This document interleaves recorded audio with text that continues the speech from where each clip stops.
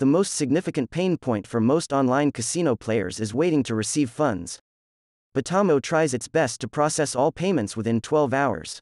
However, this process can take longer, depending on third parties. The best way to expedite your funds withdrawal is to upload all necessary documents to your casino profile.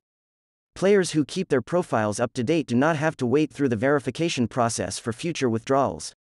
You can use numerous methods to deposit and withdraw funds from this operator.